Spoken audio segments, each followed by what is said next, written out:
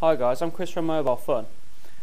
One of the biggest questions that we get asked about the new Evo 3D is which case offers the most protection, functionality and style. And that's why I'd like to introduce you to the Otterbox Commuter series for the HTC Evo 3D. The case comes in three separate parts. The first one is a silicon case which is made from tough silicon which can't be ripped. As you can see it's quite thick as well which adds a layer of scratch protection to your handset.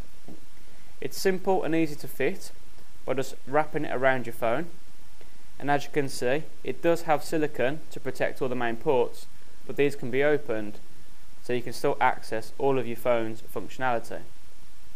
The second layer is a tough plastic case which fits over the top. It's very difficult to bend the case but again it still has all the cutouts so you can access all of the Evo 3D's features.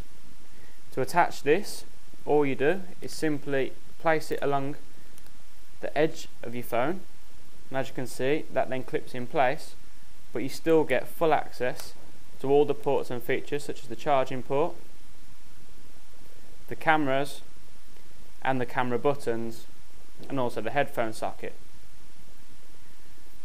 The final layer of protection comes with a screen protector which allows you to put it over the top of the screen but still gives you complete usability of the handset so you can still access the phone screen without having to remove it from the phone.